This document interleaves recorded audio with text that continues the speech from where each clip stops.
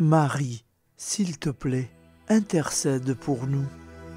Que le Seigneur bénisse ma famille, mes amis et tous ceux qui écoutent ce message en ce moment.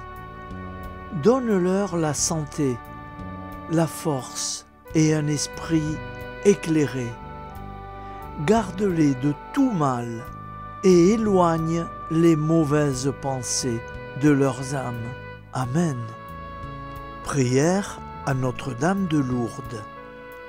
Vierge sainte, au milieu de vos jours glorieux, n'oubliez pas la tristesse de la terre. Jetez un regard de bonté sur ceux qui sont dans la souffrance, qui luttent contre les difficultés et qui ne cessent de tremper leurs lèvres aux amertumes de cette vie. Ayez pitié de ceux qui s'aimaient et qui ont été séparés. Ayez pitié de l'isolement du cœur. Ayez pitié de la faiblesse de notre foi. Ayez pitié des objets de notre tendresse. Ayez pitié de ceux qui pleurent, de ceux qui prient, de ceux qui tremblent. Donnez à tous l'espérance et la paix. Ainsi soit-il. Avant de nous quitter, nous allons prier notre ange gardien et une supplique à Saint Michel.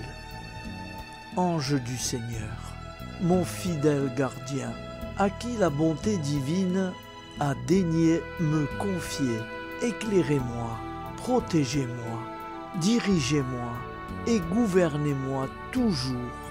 Amen. Mon saint ange gardien, je vous salue et je vous remercie. Veuillez prier pour moi et prier à ma place dans tous les moments où je ne peux formuler mes prières.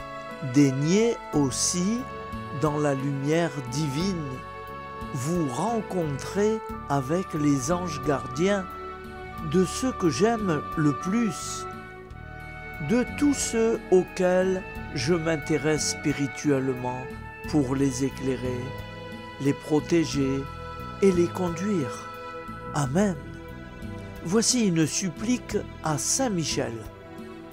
Saint Michel Archange, défendez-nous dans le combat.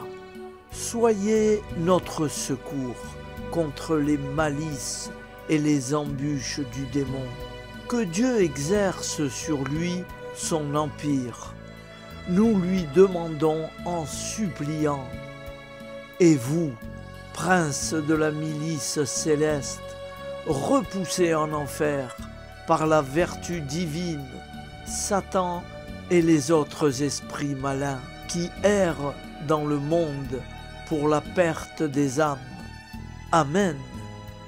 Au nom du Père Créateur, du Fils Sauveur, de l'Esprit Saint Consolateur, ainsi soit-il.